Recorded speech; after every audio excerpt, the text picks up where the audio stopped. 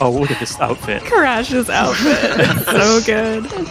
The master of subtlety. Uh, That's right. Look at it. He's a charmer.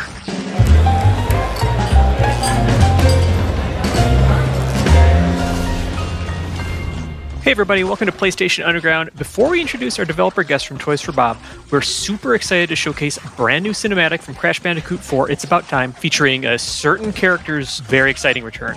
So we'll stay quiet while playing that for you now.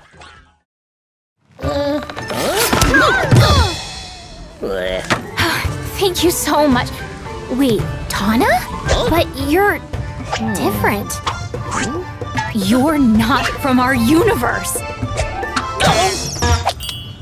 It's good to see you guys. It's been a long time for me.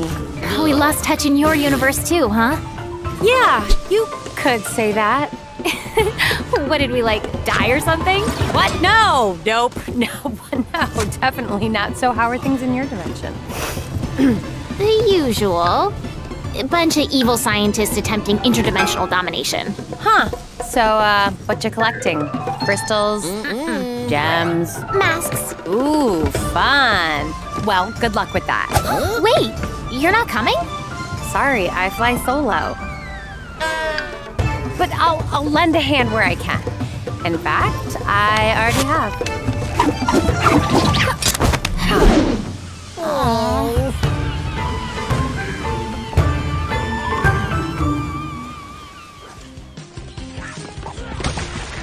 Welcome everybody to another episode of PlayStation Underground. You got Tim and Kristen here. Hey. And we are so excited to be joined by Lou Studdert, producer on Crash 4, It's About Time, and Mandy Benanav, a writer on the game. Thanks so much for joining us for a look at Crash Bandicoot 4. Yeah, glad to be back. Great to be here. Well, Lou and Mandy, we're absolutely honored to have you both on to reveal Tawna and Crash Bandicoot 4. You know, first with that awesome cutscene, and now with a first look at her gameplay. So, where do we begin? Yeah, so uh, today we're super excited to be on PlayStation Underground, revealing uh, kind of our last playable character. This is Tawna. Yeah. Awesome. She's got a new style. It's exciting to see her like in this this version. Yeah, no, she's, uh, you know, it was really exciting for us to kind of re envision her role in the game. Um, and so this is actually, as you saw in the, the cinematic at the start here, this is Tawna from another dimension. and so this is kind of our version of a, a unique, kind of playable version of Tawna. Alt Tawna. Yeah. Yeah, this is great. And she's got it definitely, you know, one thing that's been really cool seeing all the different playable characters for Crash 4 is, you know, Crash and Coco have a, a very traditional play style for, you know, Crash Bandicoot, but then you have, you know, Cortex who who kind of uses his his blaster to change enemies and then recently revealed Dingodile and his vacuum cannon. So what what sets Tawna apart, you know, gameplay wise that we're seeing here? yeah, so Tawna's kind of all about being like an action hero. Yeah, she looks like it. And so for her, she's actually got a couple of really unique maneuvers that kind of change her gameplay uh, when compared to Crash and Coco or the other playable characters. Um, primarily, she has uh, what we call her hook shot. It's kind of a grappling hook that allows her uh, to traverse the level uh, really speedily. And then you can also see she's the only character that can wall jump. Um, and so for her, it's all about kind of quick traversal and comboing these different maneuvers together. Oh, there's that hook. Cool. Yeah, going from um, a rope swing to a hook shot uh, to a rail grind to a wall jump. She's all about being fast, nimble uh, in ways that the other characters aren't. Nice. I love Yeah. her design too. Like just like the leg warmers and the hair. like it's very like 80s action hero. Yeah. uh, I love it. Yeah, that's actually something that our, our art team was really focused on was kind of making her seem like she's been on adventures and she's kind of found, you know, her own personal style and way forward in the world. Yeah. And and so um, we're seeing color splash out of her here. Um, what's going on there? Yeah, so this is actually a look at uh, one of our, our newly revealed modes called inverted mode. And so it's our kind of souped up take on a mirror mode. And so what we've got is kind of an inverted level layout, uh, but then also each of the dimensions has their own new and unique kind of art style and uh, experience. And so this one that we're showing off today that Tawna's playing through uh, is one where the world is black and white, but all of the actions that you do paint to the environment. Okay, very cool. Man, gotta watch out for those sharks. Yeah, it looks like you know, no matter who, what character you're playing in Crash Four, the that familiar, familiar but you know, challenging but fair difficulty is there.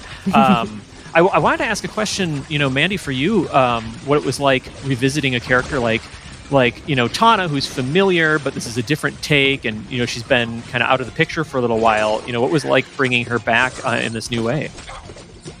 Uh, it was really cool. I mean, the nice thing about doing an alternate universe character is it's kind of a blank canvas. So um, obviously, I had the art to go on as to what she looked like, but it was really fun trying to figure out who she was and what her place in the story was. Sorry, I just I love this recycle bin. Yeah. you know, if you got to go, as, as long as you can be useful and repurposed in your, you know, afterlife, that's good. Yeah, in the future, they can even reuse Bandicoot corpses. That's, that's good. you know, you got to get resourceful. Uh, that's awesome. One thing I'm curious about um, is is with uh, the different characters being playable. Sort of, how does it work for you know? You pick up the game and and you start playing. Is it a, like a linear progression of stages, and and you'll play different characters for different stages, or can you go back to the same levels as a different character? Kind of, how does it work uh, for for when folks are going to be playing it?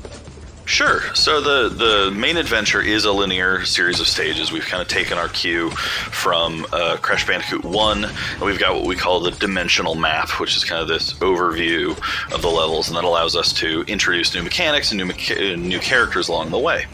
Now, the three uh, additional playable characters, Tawna, Cortex, and Dingodile, will be introduced with their own main level story uh, to get you up to speed on how they play, what their move sets are, so we can kind of train you in how to play them and introduce their storylines. But from that point on, uh, they actually are mostly in these optional levels that we call timelines.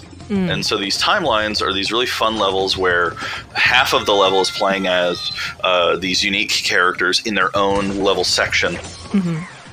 And then you see how their story uh, interacts with Crash and Coco. Interesting. So it's more like they're this is like the sideline of what's happening.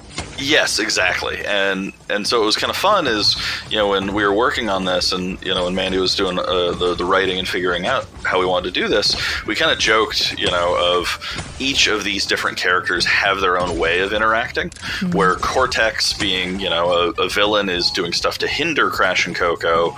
Uh, Dingodile is just kind of an accidental uh, tourist in all of this, and so he's mostly just kind of causing havoc unknowingly. But then Tawna is all about almost being kind of like a guardian angel on the sidelines. Aw. She's looking out for him. That, that, that's awesome. And from it, I like that it's kind of this interesting contrast to, to Cortex, who's kind of causing destruction that might hinder the progress of you know Crash and Coco in their their stages.